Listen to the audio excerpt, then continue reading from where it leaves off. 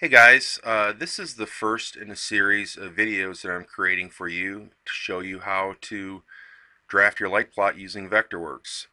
Um, the you can stop, rewind the video at any point.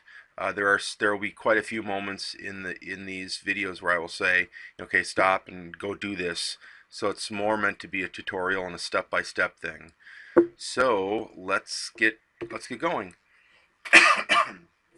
All right, so here we have in front of us a, uh, a ground plan that we, we, that we might receive from a, a scenic designer. Uh, there's a couple things we need to do with this before, with this drawing before we can actually start drafting. Um, it's sort of like the kitchen table work that Dr. Ross talks about in directing class. Uh, the first thing we need to do is take a look at our layer setup. And again, uh, I'm assuming that you've all taken the basic CAD class, so some of these terms should not be should not be new to you. So let's come on up here to look at the uh, look at the layer dialog box, and you'll see these guys down here: uh, lighting, onstage electric, legs, scenery, house, FOH, booms, border, and title block. And as you know, you can make a make a, a, a layer visible. You can make it invisible, and you can also make it grayed out. So and so as we as we go along, we will be adjusting the layers to suit uh, our needs. So I will let you take a second now and create your layers in your drawing. Alright, now that you have that done, uh, the one thing we want to do is you, uh, you need to go in and gather up your you need to go in and gather up your um, lighting symbols that you're going to use for your project. Now I've put these all into one convenient package that you can download from the Theater Northwest webpage. And if you go to theater www.theaternorthwest.org and you go to productions and then downloads, you will see a, a file called Northwest Drawing Components. Now it is a zip file, so you when you download it, you need to un you need to unzip it and then put it in some place where you can find it.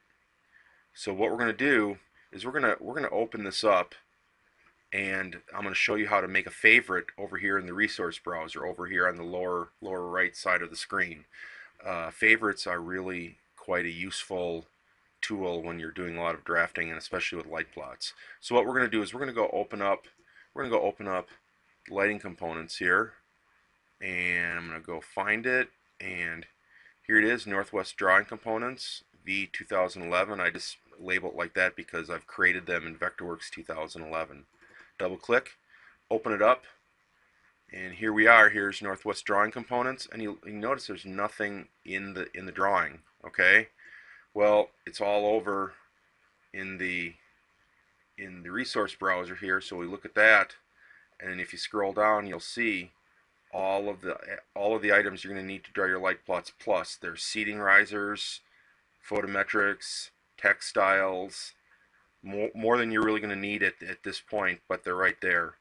So now what we want to do is we want to turn it into a favorite so you don't have to keep opening, opening this file up.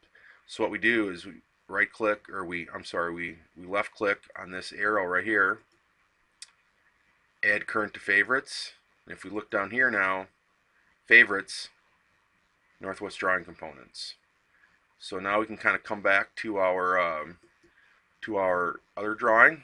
Okay, come down here, and here is our ground plan.